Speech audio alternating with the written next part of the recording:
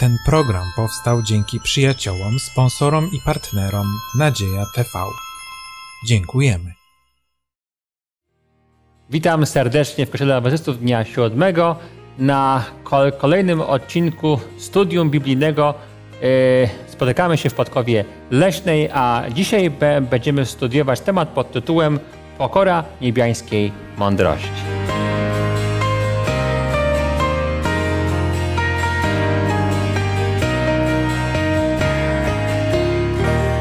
Dzisiaj w studiu są ze, ze mną Andrzej, Estera i Stanisław. A ja mam na imię Łukasz. Ponieważ będziemy dzisiaj otwierać Słowo Bo, Bo Boże, to zgodnie z dobrym obyczajem za, zaczniemy od wspólnej mo modlitwy. Ojcze niebieski, dziękujemy Tobie z całego serca za to, że możemy rozważać Twoje Słowo za to, że te lekcje są takie piękne, że posiadając Twoją mądrość, mądrość z góry, jesteśmy jednocześnie pokorni, uniżeni i serdeczni dla drugich. Panie, daj nam to rozumieć i daj nam to dobrze przekazać i błogosław nas podczas tego studium w imieniu Pana Jezusa. Amen. Amen. Amen. A zatem pokora niebiańskiej mądrości. Będziemy dzisiaj mówić na temat mądrości, a właściwie prawdziwej mądrości w ujęciu nie tyle sal Salomonowym, które, który się właściwie z tą mądrością bardzo kojarzy, ale w ujęciu głównie Jakubowym. Oczywiście nie tylko i wy, wyłącznie. Będziemy zatem starali się zrozumieć, w jaki sposób mądrość postrzega Jakub i jakie z tego można wyciągnąć dla nas wnioski. Zacznijmy od tego, że ludzie zwykle postrzegają samych siebie jako mądrzejszych niż, niż są w rzeczywistości. Taka już jest nasza ludzka na, natura. I w związku z tym często też oczekujemy, że otrzymamy więcej, czy w pracy, czy w życiu. E, mamy takie pretensje do różnych rzeczy i traktujemy innych zgodnie z tym naszym postrzeganiem samych siebie, tej naszej ludzkiej mądrości i tego, na co za, zasługujemy. Rzeczywistość niestety czę, często bywa inna. A zatem dzisiaj będziemy starali się odpowiedzieć sobie na pytanie, jaka ta mądrość powinna być w rzeczywistości, jakiej mądrości powinniśmy poszukiwać. A więc na czym polega mądrość na podstawie trzeciego rozdziału listu apostoła Jakuba? Mamy tam kilka bardzo istotnych uwag. Zacznę od tego, że oczywiście jest tam mowa o uczeniu, czyli e, o tym, że no, trzeba mieć pewne cechy charakteru, żeby móc na, nauczać. Ale czy istotnie jest to jedyny kontekst mądrości, który ten trzeci rozdział obejmuje? Raczej nie. Widać, że jest on nieco szerszy. Niektórzy też uczą, że chodzi tutaj o taką bardziej ludzką mądrość, mądrość w ujęciu e, greckim, czyli taką e, związaną z naszym posiadaniem informacji, wiedzy. Ale wydaje się, że tutaj też o to nie chodzi, dlatego że pojawia się słowo anastrofę, które mówi o praktyczności, o tym, że to jest postępowanie, działanie, czyli że ta mądrość ma związek z jakimś dzia działaniem. A zatem popatrzmy, co mówi Jakub w jednym z wierszy właśnie tego trzeciego rozdziału, w wierszu trzynastym i może tym razem według Biblii Tysiąclecia. Czytamy z Biblii Tysiąclecia. Kto spośród was jest mądry i rozsądny? Niech wykaże się w swoim nienagannym postępowaniu uczynkami spełnianymi z łagodnością właściwą mądrości. Czym zatem jest ta mądrość według tej krótkiej, ale bardzo ciekawej de definicji apostoła Jakuba? Wielu ludzi myśli, że e, no tak nawet twierdzi, że prawdziwą mądrość to się zdobywa w szkole. Tu Jakub ewidentnie mówi, że to nie, nie, nieprawda. Mhm. A nie dlatego, że jest przeciwko szkole, ale w szkole zdobywa się wiedzę, często praktyczną, potrzebną w życiu, ale ona nie, nie, jest tą wiedzą, nie jest tym, tą praktycznym życiem, o którym mówi Jakub. On tutaj porusza kwestii e, uczynków. On porusza kwestii, która jest wyżywaniem dobroci i łagodności wypływających z głębi serca relacji między, z Chrystusem, a więc to jest coś, co bardzo pobudza.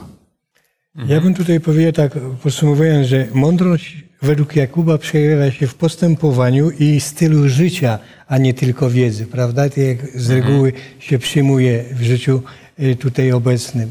Także y, jak postępujemy, jak nas widzą, jak to się mówi, to tak o nas piszą albo takim dajemy przykład. No tak. Ciekawą rzeczą jest to, że mądrość nam się zwykle kojarzy z czymś też w miarę praktycznym, nawet taka ludzka mądrość, bo e, mówimy zwykle, no, że człowiek ma wiedzę, ale też ma i mądrość, a mądrość jest jakby taką umiejętnością praktycznego wykazania tego, co wie. No ale tutaj rzeczywiście pojawia się słowo, słowo łagodność, prawda? Łag- Łagodność w tym, w tym wierszu. I może byłoby warto popatrzeć na to, co ta łagodność oznacza. W Mateusza em, 11, 19 m, też według e, Biblii Tysiąclecia czy, czytamy takie słowa. Mądrość usprawiedliwiona jest przez swe czyny. To ciekawe, usprawiedliwiona. Popatrzmy na Jakuba 3,14, bo to chyba nam tłumaczy dokładnie, na czym ta łagodność powinna rzeczywiście polegać. 3.14 czytam. Jeśli jednak gorzką zazdrość i kłótliwość macie w sercach swoich, to przynajmniej nie przechwalajcie się i nie kłamcie wbrew prawdzie. I może jeszcze 15 warto dodać, że nie jest to mądrość, która z góry stępuje, lecz przyziemna, zmysłowa, demoniczna. Tak, o tym za chwileczkę powiemy więcej. Ale no właśnie, jeżeli mówimy o mądrości, e, Salomon dużo pisze, że są jedni mądrzy, drudzy są głupi, pra, prawda? Taką stosuje, taki stosuje kontrast. I tutaj wydaje się, że Jakub w tym 13 wierszu mówi o mądrości, a potem w 14 mówi w pewnym sensie o głupocie. Tak? Czyli na czym ta głupota miałaby polegać? Czyli to przeciwieństwo mądrości. Jak, jakie tutaj są sło- słowa? Kłótliwość, tak? Tak. Po prostu to objawia naszą grzeszną naturę, jakby można powiedzieć. Nasze skłonności do zła, które y, jest przeciwne temu, co Bóg chce nam oferować, prawda? Tak. Czyli jest to mądrość, która nie ma w sobie Ducha Świętego, jakby można innymi słowy też. Dlaczego się kłócimy? No dlatego, że uważamy, że my lepiej to rozumiemy, lepsi jesteśmy, mamy większą wiedzę na ten temat, no i my chcemy swoje racje wykazać. Dlatego się sprzeczamy. Czyli To wypływa z egoizmu, bez, z, zdecydowanie. I Tak. to im, im więcej z Bogiem człowiek obcuje, im więcej, im dłużej żyje, e, jeśli z Bogiem obcuje, to staje się pokorniejszy. Natomiast rzeczywiście ten taki mały członek, ten języczek, tak pielęgnowany przez nas, e, bo trzeba powiedzieć, że dbamy też o niego. Tyle potrafi krzywdy wyrządzić, to co wcześniejśmy studiowali, że tak. jak ten okręt jest wiedziony tym małym sterem za, za, za tym okrętem, to ten język potrafi tak zawrócić, jak ten wielki okręt. Tak. Zupełnie w przeciwną stronę życie poprowadzić w tak paskudny sposób, że naprawdę y, ja y, mogę powiedzieć o sobie, że na pewno moje życie nie jest takie, jakbym sobie życzył, żeby było. Jest wiele do zmiany, ale wiem, że jeśli gdzieś Pan Bóg mnie pomoże w tym, że ja e, okażę łagodność, że gdzieś nie, e, nie poddam się emocjom, nie, nie zdenerwuję się. Za każdym razem, jak się zdenerwuję, to zawsze t- widzę swoje, swoją stratę. tak. To jest ewidentnie widoczne. I tu o tej łagodności, to ona jest dla naszego zdrowia. Nie tylko dla, dla, dla innych ludzi, ale dla nas samych. Tak. Jest olbrzymim bogactwem dla wszystkich wokół, dla mnie samych i dla domowników. No czego można chcieć więcej? Tak. Widać, że ta łagodność jest prze, przeciwieństwem kłótliwości, e, sporów, A więc jest takim podejściem nietypowym, tak? Jakby szu- szukaniem po, pokoju z innymi. I wydaje się, że Jakub wskazuje to jako mądrość. To ciekawe, że to właśnie w tym wi- widzi łagodności widzi mądrość. Ale pisze też nieco więcej o tej mądrości. E, e, Dokładnie pok- pokazuje, że istnieją nawet właściwie dwa typy mądrości. Nam się mądrość zwykle kojarzy z czymś bardzo wy- wymiernym, no w tym sensie, że człowiek wyciąga z tego jakieś ko- korzyści dla siebie w, ży- w ży- życiu, bo ta mądrość służy jemu. Inni ewentualnie też z tego korzystają szcz- szczególnie bli- bliscy. Natomiast apostoł Jakub mówi, no właśnie, przeczytajmy Jakuba 3, 15 i 16. To jest dalej mowa o tej ziemskiej mądrości. Nie jest to mądrość, która z góry stępuje, lecz przyziemna, zmysłowa, demoniczna, bo gdzie jest zazdrość i kłótliwość, tam niepokój i wszelki zły czyn. Natomiast w wierszu 17-18 jest przeciwstawienie tej ziemskiej y, mądrości.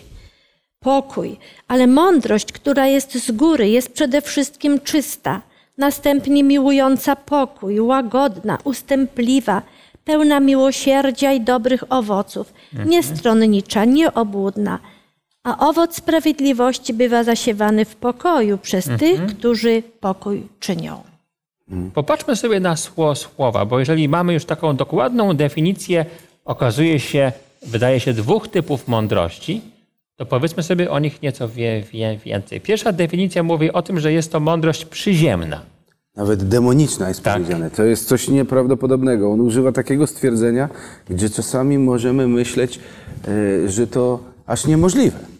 Mhm. A on tu mówi, że to od szatana pochodzi. No bo demoniczna, czyli Tak. od szatana. Czyli, że to, co słowo demoniczna kojarzone jest z tym, co jest przyziemne, czyli takie yy, z ciała, zmysłowe. tak, wbrew zmysłowe. Duchowi Świętemu, tak. dotyczące danej osoby. E, Panem tego świata jest szatan, prawda? tak. Czyli nic dziwnego, że używa takiego porównania, bo to jest mądrość destrukcyjna, wywołująca zazdrość i egoistyczne ambicje i tak dalej, prawda? Natomiast jak mówimy e, i czytamy na przykład e, dalej i Chrystus, jak podaje, że w Jana 3 y, rozdział 3, 3 do 7, tam jest przykład y, rozmowy z Nikodemem i powiedziane jest, że kto na nowo się nie narodzi. Ale z czego? Przede wszystkim chodzi o narodziny z Ducha Świętego. Nie może wejść do Królestwa Niebieskiego, ponieważ Duch Święty jest przeciwstawny temu. Duch Święty jest właśnie łagodny, jest y, miłujący, współczujący, prawda, i tak dalej. Widzimy, że to jest bardzo ważna sprawa, żeby to poddanie y, się Bogu było praktyczne. Tak. E, przyziemna, zmysłowa, demoniczna. Wiecie, to jest bardzo cie, ciekawe, bo właściwie większość lu, ludzi przez życie zbiera jednak jakiś zasiew mądrości. Uczymy się przez nasze doświadczenia, błędy, uczymy się przez edukację, uczymy się przez wiele rzeczy, które otrzymujemy i jakąś mądrość jednak mamy. Wydaje się, że Jakub mówi właśnie o tej mądrości, że ta życiowa mądrość, ta, która wydaje się nam jak najbardziej pozytywna. Oczywiście ona w pewnym sensie jest pozytywna, bo my się uczymy, jak postępować, żeby się nie zranić, żeby nie zrobić sobie krzywdy. Człowiek się uczy tego typu rze- rzeczy, ale mówię, że ta naturalna mądrość, którą każdy człowiek prędzej czy później w sobie wykształci, prawda, no poza pewnymi wyjątkami, jest tak naprawdę demoniczna. To ciekawe, prawda? Ale ja bym rozróżnił, bo ja sobie to nazywam em, mądrość, która rzeczywiście, bo polski język jest zbyt ubogi, żeby te kwestie tak wyłożyć, ale ja nazywam y, rzeczy, które człowiek się wyuczy, czy to w życiu, czy w szkole, jako wiedzę, zdobywanie wiedzy. I tak to należy patrzeć na to. Mądrość, ta istotna, najważniejsza. Wiecie, może być mieć ktoś najwyższe tytuły naukowe, ale jak język otworzy, to jakby piekło się otworzyło. Może mieć ktoś najpiękniejszą urodę, ale jak otworzyła ta dziewczyna te usta, to jakby się piekło otworzyło. Wiecie, do matki swojej. Ja na przykład ubolewam z powodu takich, e, takich rzeczy. I oby Pan Bóg nas przede wszystkim stronił przed tym, żeby, żeby, się, nam, żeby się nam te rzeczy nie przydarzały. E, a jak się, się zdarzą, to idźmy do Boga, On na pewno chętnie nam to wybaczy i chce nas naprawiać i zmieniać. Ale też elementy, bo nie będę tu wchodził w większe szczegóły, ale te elementy musimy rozgraniczyć sobie pomiędzy, że to jest wiedza, a mądrość to jest mądrość pochodząca od Boga. I ja to tak sobie układam. Popatrzmy jeszcze na y, jeden tekst bardzo, wydaje się, pouczający na, na temat tej prawdziwej mądrości, bo ona jest postawiona jak w, kon, w kontraście do tej ludzkiej, takiej zwykle postrzeganej jako dobrej mądrości. List do Kolosan apostoła pa, Pawła, rozdział trzeci i tam wier, wier, wiersze od 5 do 6, a następnie od 8 do 9. Umartwiajcie tedy to, co w waszych członkach jest ziemskiego. Przeteczeństwo, nieczystość, namiętność, złą pożądliwość i chciwość, która jest bałwochwalstwem, z powodu których przychodzi gniew Boży. I, ale ter, niegdyś i wy postępowaliście podobnie, kiedy im się oddawaliście, ale teraz odrzućcie i wy to wszystko. Gniew, zapalczywość, złość, bluźnierstwo i nieprzyzwoite słowa z ust waszych. Nie okłamujcie się nawzajem, skoro zewlekliście siebie starego człowieka wraz z uczynkami jego. Tak. Zewlegliście starego człowieka wraz z uczynkami jego. Zobaczcie, tutaj pojawia się element nowonarodzenia. Element e, ujarzmienia swojego własnego ja. Jednak okazuje się, pra, prawda? Jest to naprawdę niesamowite. My najpierw uczymy się różnych zachowań i się nauczymy tych złych zachowań, a później musimy z Bogiem eliminować te zachowania, e, usuwać je. I to nie przychodzi samo i łatwo. Wielu z Was to przeżywa, ja również, ale z Bogiem jest to możliwe i to jest to piękne, zwycięskie e, życie z Bogiem. Tak jest. A więc mamy tutaj takie elementy jak ujarzmienie, jeszcze raz, e, no, pokonanie swojego własnego ja, czyli tej takiej swojej własnej mądrości, jak to Mojżesz wpierw się uczył długo, a potem musiał swoje własne ja dać pokonać. Nowonarodzenie, czyli zmianę i wreszcie Ducha Świętego, który jest w tym miejscu obecny. Co prawda Ja- Jakub nie wspomina o Duchu Świętym, ale mamy tutaj jakby ewidentny znak, że pojawiają się owoce Ducha e, Jego działalność. On daje tą prawdziwą mądrość opartą na łagodności. Popatrzmy na kwestię konfliktów i sporów. Zwykle nam się kojarzy, że one są w jakiś sposób uzasadnione. Jeżeli ktoś się z nas o coś spie- spiera, zwykle myśli, że ma ku temu powód, tak? No dobrze, ale to jak to? Jak mówimy, no spór gdzieś tam, e, nie wśród chrześcijan. Zdawałoby się, że no jak, no wśród chrześcijan się sp- spory mają być? No to ale jest taka sprawiedliwość, że ale każdy słuchajcie, mówi, no ja, to- ja jestem zra, No. zraniony, więc ja myślę, że to, y, to wymaga jakiegoś usprawiedliwienia, pra, prawda? Ale Czy ja- zadośćuczynienia. Ja kiedyś analizowałem pewien przykład i, i przy, przyszedł jeden na skargę na drugiego. No i tam jeden drugiemu miał coś zrobić, no i ten mówi, słuchaj, no poszedłem do mojego współbrata, e, go, e, do, do mojego wierzącego e, współbrata i on miał mi coś zrobić. No i spodziewałem się, że mnie po przyjacielsku potraktuje. A tamten, z nim później z tym drugą stroną rozmawiam, no i spodziewał się, że mu tam jakoś go ładnie, łagodnie potraktuje. A ten normalną tam jakoś tam troszkę zniżył mu tam coś i zrobił mu tą, tą rzecz. A, a tamten, który mu wykonywał, no to jak ja teraz u wierzącego pracuję, no to ten mi na pewno solidnie zapłaci. I wiecie, i to już jest powód do rozdźwięku. Kwestie na spór zawsze znajdziemy. I najważniejsze, żebyśmy szukali w Słowie Bożym i w Chrystusie ukojenia swoich, swojego wewnętrznego człowieka, o którym jest mowa, e, że e, no, ciało przeciwko duchowi, a duch Właśnie. przeciwko ciału. Sięgnijmy do, może do tekstu. Jakuba 4, e, 1 prze, przeczytajmy, bo to jest bardzo ciek- ciekawy tekst. Myślę, że on nam sporo mówi o tym, co Jakub mówi o przyczynie konfliktów i spo, sporów.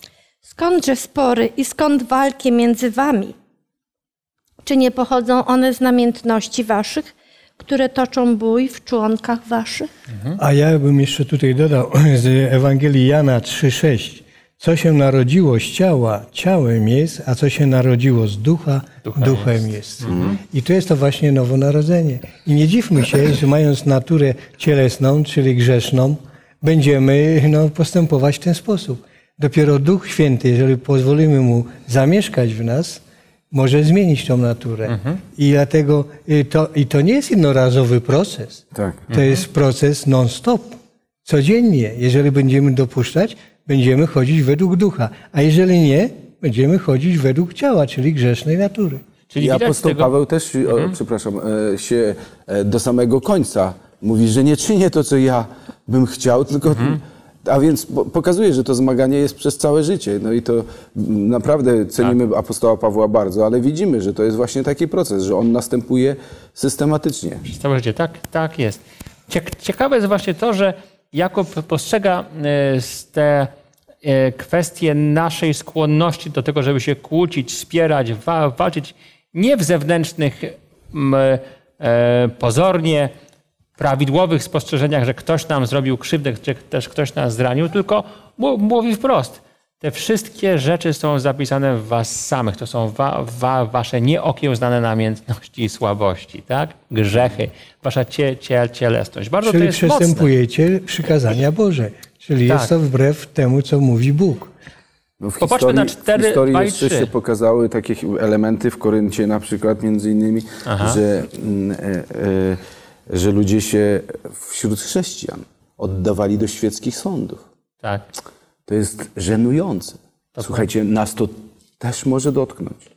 Słuchajcie, szatan robi wszystko, żeby przekonać jedną i drugą stronę, że ty masz rację. On zrobi wszystko i będzie tak robił. I będziesz przekonany. Im dłużej z tym chodzisz, tym dłużej jesteś przekonany. Tak. A tylko sięgnij po Słowo Boże, to Pismo Święte mówi przebacz. Ile razy? Siedem razy, siedem razy. Ile razy? No i wychodzi ci taka liczba, że w końcu nie ma określenia ile, tylko w nieskończoność. A więc to jest naprawdę piękna zasada. Jeśli byśmy umieli to zastosować w swoim życiu, to naprawdę będzie się nam lepiej żyło. Popatrzmy jeszcze na e, list Jakuba 4, 2, 3, bo tam jest bardzo konkretnie napisane, e, co nas prowadzi do sporów. Jest jakby taką dobrą, e, dobrym wyjaśnieniem, dobrą inspiracją. Może odczytajmy. Pożądacie, a nie macie. Zabijacie i zazdrościcie, a nie możecie osiągnąć. Walczycie i spory prowadzicie. Nie macie, bo nie prosicie. Prosicie, a nie otrzymujecie, dlatego że źle prosicie, zamyślając to zużyć na zaspokojenie swoich namiętności. Znowu się pojawiają namiętności, ale też pojawiają się elementy, które mogą nam się bardzo dobrze kojarzyć. Z czym? No, raczej tutaj jest powiedziane, że raczej tu się niedobrze kojarzą, ponieważ to jest takie egoistyczne motywy są tego wszystkiego, co czytała tutaj Estera, prawda? Zużyć zamierzacie na zaspokojenie swoich namiętności. A jeżeli byśmy mieli te właściwe motywy, to byśmy przede wszystkim chcieli pomagać swoim bliźnim, prawda? I rezygnowali z tych swoich e, przyjemności na korzyść drugiego. Tak. Tutaj są nawet rzeczy bardzo konkretne. E, Tam jest mowa o pożądaniu, tam jest mowa o zabijaniu. Właściwie kojarzy się to e, z przykazaniami. E, kie- Kiedy po prostu Pan mówi, nie rób tego, a nawet znowu, jeżeli mówimy o tej wewnętrznej stro- stronie, to przecież tak samo Chrystus uczył, że przekazania nie są tak naprawdę tylko tym, co na zewnątrz, prawda? W kazaniu na, na górze, ale uczył też między innymi też tam, że jest to to, co jest w sercu czło- człowieka. A więc zanim się pojawi za, zabójstwo, wpierw musi się pojawić gniew, tak? Zanim się po, po, po, pojawi cudzołóstwo, wpierw musi się pojawić pożądanie, musi być pielęgnowane, czyli te wszystkie rzeczy muszą być w jakiś spo, sposób no, podsycane, karmione, nieujarzmiane. A więc y, mowa jest cały czas o tym, że te wszystkie nasze wewnętrzne, ukryte, cielesne skłonności do postępowania w jakiś sposób wbrew temu, co Pan Bóg zalecił, pozornie na zewnątrz wszystko w, po, w porządku, a wewnątrz czło- człowieka zjada tak naprawdę niewierność, nieposłuszeństwo, może jakaś taka niechęć do ujrzenia sam, sam, samego swojego własnego ja. Ja bym powiedział jeszcze tutaj, że w Biblii Gdańskiej y, te wersety, szczególnie ten czwarty werset, jest przyrównany do cudzołóstwa duchowego. Tak. I to jest bardzo istotne, bo y, Bóg traktuje nas po prostu jako swoją no, małżonkę, jakby można tak powiedzieć. I wydaje mi się, że właśnie Duch Boży, to jeszcze w nawiązaniu do tego trudno y, roz, zrozumianego piątego wersetu, Zazdrośnie chce on mieć tylko dla siebie ducha, któremu dał w nas mieszkanie. I jeżeli Bóg y, daje nam ducha, który jest w nas, a nasz duch jest jakby tą małżonką, to chciałby, żeby ta małżonka była mu wierna, prawda? I dlatego to tak jak na zewnątrz mówimy w rodzinie, że y, ten duch, jeżeli jest wierny i lojalny i zawsze tego małżonka widzi i jest mu posłuszny, to wtedy jest wszystko ok. Ale bardzo często niestety cudzołoży nasz duch. Woli iść do tego świata.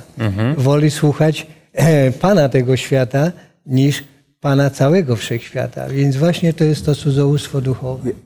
Ja tylko może powiem jedną taką kw- kwestię, że to jest naprawdę bardzo istotna nauka, która płynie stąd, z, tego wers- z tych wersetów. Jeśli chodzi o, na przykład mam olbrzymi szacunek do męża Esterki. Ich by było stać na to, żeby kupili sobie nowy samochód. Ale jeżdżą, służy im tamten, co mają. Ale tak pomagają bliźnim. Ja to widzę. Oni tego nie, nie, nie robią na pokaz. Ale ja to słyszę, wiem i czuję i, i wiele razy to widzę. I ja popełniałem też w życiu różne błędy. Popełniłem pewien błąd, m, e, e, nawet takiej e, grubszej materii, ale dostrzegłem go. I proszę Pana, żeby mnie oczyścił i odebrał te rzeczy, gdzie mam. My mamy takie pragnienie mieć rzeczy nowe. Wiecie, ja byłem bardzo zbudowany w tym tygodniu, akurat się tak złożyło, w kontekście też tej lekcji, że mój syn, rozmawiam z nim w niedzielę i się pytam, no, bo wiem, że zbierał sobie na, na nowszy telefon. Chociaż no, tłumaczyłem mu któregoś razu, że w sumie ten jest dobry, to czy musi robić taki wyścig szczurów, czy musi mieć ten naj, najbardziej topowy e, z tych telefonów.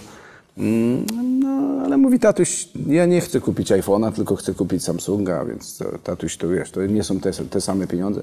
No ale mimo wszystko tam chyba miał wydać około 600 zł. I postanowił, że jednak ja z nim rozmawiam, on mówi, wiesz co tatuś, zostanę przy tym, co mam. Ten mi w sumie wystarcza. I tak, tak byłem bardzo zbudowany taką postawą. Ale właśnie to, to nas uczy ten tekst biblijny, że my powinniśmy e, rezygnować, żeby czerpać z tego, co nam Pan Bóg dał, tylko dla siebie, ale żeby wspierać innych ludzi. A więc szacunek dla męża i dla ciebie, bo ty na pewno w tym współudział masz. Tak, dziękuję. Y, Wiecie, no, próbujemy znaleźć odpowiedź, skąd się biorą w nas te namiętności, które prowadzą do tego, że człowiek wewnątrz w jakiś sposób skłonny jest e, łamać albo delikatnie łamać te przekazania i to w końcu prowadzi do, do tego, że brak w nim tej łagodności, tej, tej właśnie mądrości, jest skłonność do spo, spo, sporów.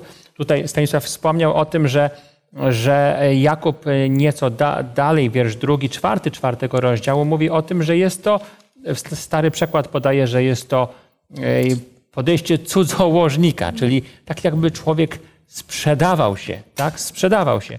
To jest bardzo cie, ciekawe, bo Ale aż straszne to jest określenie, nie? Tak, straszne bo aż, no jest, bo y- cudzołożnik to aż człowieka po... Może odczytajmy ten fra fragment y, z y, Jakuba 4 od 2 do 4. Y, Może 4, 4, 4, 4 sam wystarczy, z Biblii Gdańskiej, jeżeli można. Cudzołożnicy i cudzołożnice. Nie, nie wiecież, iż przyjaźń świata jest nieprzyjaźnią Bożą? Przetoż kto bykolwiek chciał być przyjacielem tego świata, staje się nieprzyjacielem Bożym. A więc mamy, słuchajcie, wska wskazanie, że tą przyczyną, która po powoduje, że w nas wewnętrznie budzi się chęć do życia cielesnego, chociaż może być na zewnątrz z nami wszystko pozornie w, w porządku, tak naprawdę bierze się z tego, że człowiek patrzy na przykłady z tego świata i im się poddaje. Tak? Człowiek zwykle komuś się albo czemuś się poddaje. Poddaje się temu, co jest wokół niego i mówi, to nie jest takie złe. To jest całkiem atrakcyjne. Spróbujmy, zobaczmy, a potem staje się tym, co jest wokół niego. I na zewnątrz tego jeszcze bardzo nie widać, ale jego re reakcje w chwilach ekstremalnych, wtedy kiedy jest gniew, wtedy kiedy jest kuszony, sprawiają, że wychodzi z niego to, co jest w środku, pra, pra, prawda? I nie ma tej mądrości, pojawia się w nim niestety na boski sposób głupota. Na ludzki sposób to może być mądrość, ale na boski sposób to jest głu- głupota. A Popatrzmy reklamy jeszcze podpowiadają, jesteś tego warta. jeszcze. Tak. Czy tam inne, nie? Przecież zasługujesz Mhm. na to. należy ci się, ciężko pracuje. Wiecie, no, wytłumaczenia na te wszystkie rzeczy możemy znaleźć. Ja tak mówię, dlatego że sam do, doświadczyłem em, takiego elementu, zbłądziłem, gdy bardzo cenię i lub, lubuję się w architekturze. I e, bardzo cenię sobie klasy, klasycyzm. E, a więc ten cały okres średniowiecza i te bu- budowle przepiękne. I wybudowałem obiekt, który no, był takim trochę bardziej pompatyczny. Prosiłem Boga, żeby mi przebaczył i widzę, że to uczynił. E, Ale, ale wiecie, to jest nauka pokory. To jest nauka. E, Chcę się przyznać, powiedzieć mu, Panie Boże, przebacz. On to chętnie uczyni. Dlatego warto o tych kwestiach rozmawiać, bo to są takie bardzo praktyczne rzeczy. Tak. Y, Kiedy patrzymy na czwarty ro- rozdział, pią- piąty i szósty, wiesz, on jest nieco tru, tru, trudny, rzeczywiście spra, sprawia sporo kłopotów interpretacji, ale kiedy patrzy się na to, jak interpretują go tłu- tłumacze rzeczywiście będący znawcami gre, greki, to można wyciągnąć z niego, już nie będziemy go odczytywać, według tej tutaj parafrazy, którą ma, mamy spisaną, ale można go odczytać jako takie swoiste podsumowanie, gdzie, gdzie Jakub mu, mu, mówi w bardzo prosty spo, spo, spo, sposób, że człowiek, który jest w jakiś sposób pyszny, który z tego świata bierze to takie poczucie walki o siebie, dumę, tak naprawdę nie jest w stanie osiągnąć mądrości. Na ludzki sposób owszem, na Boży sposób nigdy, a przecież bo, po, po, powiedzieliśmy sobie, że prawdziwa mądrość to jest ta, która pochodzi od Boga, bo ona wyjdzie poza bramy tego świa- świata. Kiedy się ten świat sko- skończy, dla jednych to będzie przy przyjściu Chrystusa, dla innych to będzie w momencie, kiedy odejdą z tego świa- świata. Tej mądrości z sobą nie zabiorą. Albo inaczej, za- zabiorą e, albo na swoje zbawienie, albo na swoją zgu- zgu- zgubę. Ja bym dodał tutaj jeszcze, że z reguły ta wiedza y, właśnie większości ludzi budzi pychę.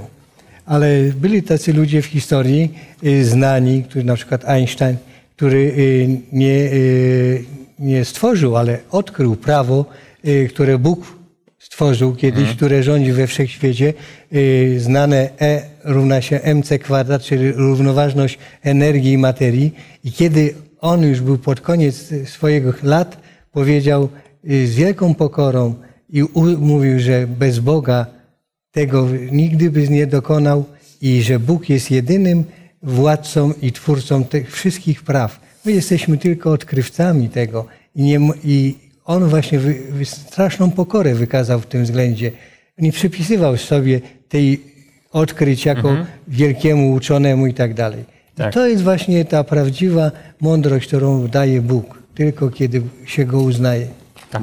Popatrzmy na jeszcze kilka ostatnich wie, wierszy tego, tej, tego naszego studium. Mamy bardzo ciekawy wiersz Jakuba 4, 7. E, może go odczytajmy. Przeto poddajcie się Bogu, przeciwstawcie się diabłu, a ucieknie od was. Ja jeszcze bym taki mały komentarz do tego dodał, bo mnie się tak kojarzyło, że to jest właśnie y, ten werset, y, jakby mnie y, mówi o dwóch panach. Wcześniej też mówiłem, że nie można dwóm panom służyć, prawda? I właśnie to jest to, że my musimy zdecydować, któremu panu chcemy służyć, wybrać to. I tu jest powiedziane, jeżeli się poddamy Bogu, uznamy Go, to ten drugi pan musi po prostu uciec od nas. Nie ma y, racji bytu, prawda? Ale możemy jednocześnie czy y, również się poddać drugiemu panu. I od tego zależy nasze życie, postępowanie i nasza przyszłość, nie tylko ta doczesna, ale ta wieczna, prawda? Tak. Stasiu tu powiedział bardzo piękną tę wypowiedź, ale ja tu dodając tylko mogę powiedzieć taki własny swój przykład, dokładnie z tym tekstem związany.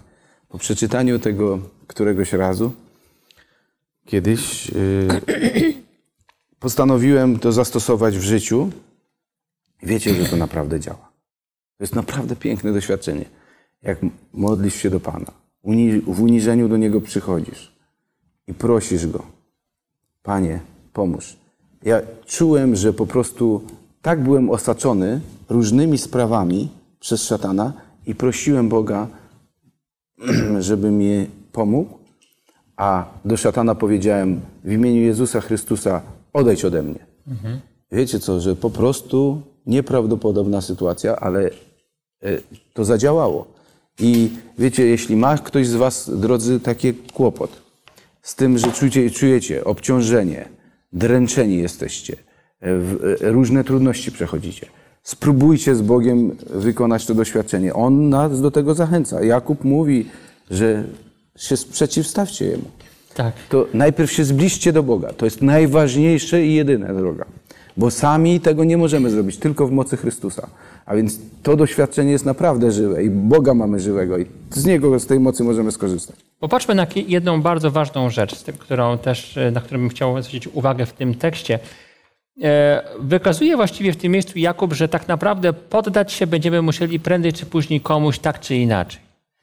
Albo się poddamy świa, światu i przez to niechcący po, poddamy się niestety szatanowi, chociaż ludzie to robią z, z, z różnych intencji i często w nieświadomości, nawet chrze, chrze, chrze, chrześcijanie, ale skutek będzie zawsze taki sam. Nie jedna droga zda, zda się prowadzić do, no, no wiadomo, to jest to, czego uczy Sa- Salomon, ale zwykle pro, pro, prowadzi do śmie- śmierci, tak?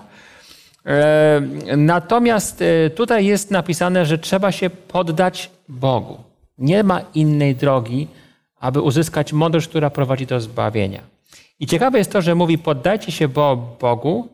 E, Dopiero wtedy, po poddaniu się Bogu, możecie się skutecznie przeciwstawić diabłu, chociaż ciekawe jest też to, że to pokazuje nie tyle pasywną, ale aktywną postawę. Czyli z jednej strony bez poddania się Bogu, Jego woli, działania według Jego woli, nie ma żadnej realnej sza- szansy, aby się prze- przeciwstawić dia, dia, diabłu. Ale jeżeli już to uczyniłeś, to bądź aktywny w tym, żeby się diabłu przeciwstawić, wiedząc, że jest ktoś, komu zależy na, na, na tym, żebyś nie był mądry. Tak?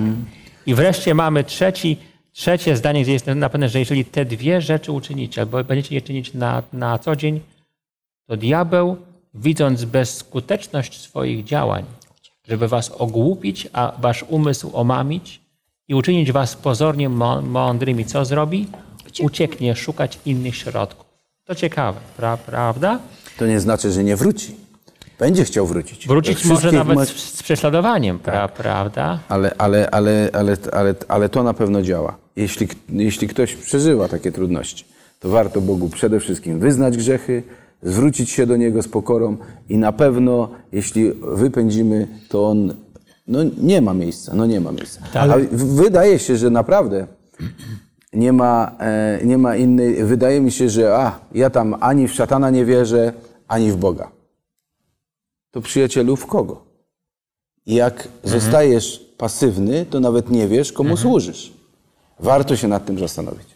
Ja bym dodał, jak wcześniej powiedziałem, że to jest nie tylko jednorazowe poddanie się, stałe poddanie się musi być, bo inaczej przegrywamy. Jeżeli w jakikolwiek momencie niestety poddamy się szatanowi, no to to będzie wykorzystywał. prawda? Tak.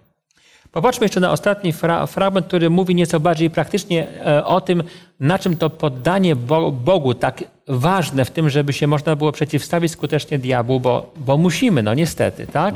Ma, na czym ono ma polegać i nawet jaki może być jak, jako koszt. Wiersz ósmy, e, wiersz e, ósmy po dziesiąty tego samego rozdziału, bardzo bym prosił. Zbliżcie się do Boga, a zbliży się do was. Obmyjcie ręce grzesznicy i oczyśćcie serca ludzie o rozdwojonej duszy. Biadajcie i smućcie się i płaczcie. Śmiech wasz niech się w żałość obróci, a radość w przygnębienie. Uniszcie się przed Panem, a wywyższy was. A w szóstym wierszu bardzo mi się podoba jeszcze ta myśl. Bóg się pysznym przeciwstawia, a pokornym łaskę daje. Tak. Ale tu jest przepiękny przykład żało, żałoby, takiej jakby, znaczy nie żałoby, tylko żalu za grzechy. Mhm, tak. No, piękne jest to, że Pan Bóg zdaje się nam mówić przez apostoła Jakuba, że nawet jeżeli nas e, to poddanie się Bogu będzie trochę kosztowało, nawet jeżeli będzie, trzeba, trzeba będzie z czegoś zrezygnować, z tego, co nam daje radość, przyjąć trochę smutku, to warto. Bo na końcu ci, którzy się smucą dzisiaj, będą pocieszeni. Prawda? Jest napisane, że ci będą ra, ra, ra, radośni. A więc musimy aktywnie myśleć, komu się poddajemy, e, szukać tego bo, bo Boga, zarazem świadomie się przeciwstawić naszemu wro- wrogowi w mocy bo, bo, Boga, bo przecież inaczej tak naprawdę tej mądrości prawdziwej nigdy nie otrzymamy. Tylko To tą nie znaczy, że my, że, my mamy, że my będziemy mieli smutek. Bo on tym trwa jakiś, jakiś czas, mija doświadczenie, Pan Bóg zadziała w naszym życiu i jest taka radość, że wszyscy wokół wiedzą, przed sąsiadami się tego nie uda ukryć, wszyscy wiedzą, no bo się radujemy, prawda? A więc to z Bogiem przebywanie nie jest tą smutną radością, żeby ktoś tak może nie pomyślał. Tak. Ja chciałabym jeszcze mm, zacytować e, chrześcijańskiej pisarki Ellen White taki, taką myśl, jak Chrystus podchodził do wielu spraw. Tak. W sercu Chrystusa, pozostającym w pełnej harmonii z Bogiem, panował doskonały pokój. Nigdy nie był dumny z powodu poklasku tłumów, ani przygnębiony z powodu krytyki lub rozczarowania. Wśród największej opozycji i najbardziej okrutnego traktowania Chrystus stale zachowywał odwagę. Jednak wielu mieniących się być Jego naśladowcami jest zaniepokojonych i zmartwionych, ponieważ boją się zaufać Bogu. Nie poddają Mu się całkowicie z obawy przed konsekwencjami, jakie to poddanie, poddanie może wywołać.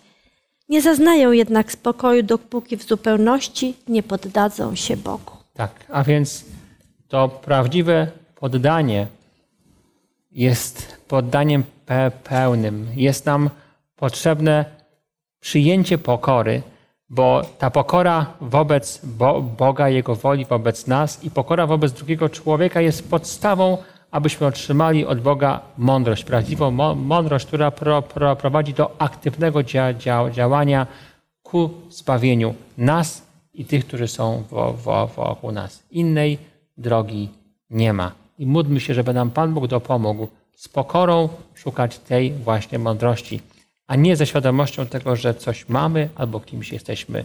Bo jak pisze apostoł pa, pa, pa, Paweł, tak naprawdę jesteśmy w sumie praktycznie nikim, chyba że jest z nami Jezus.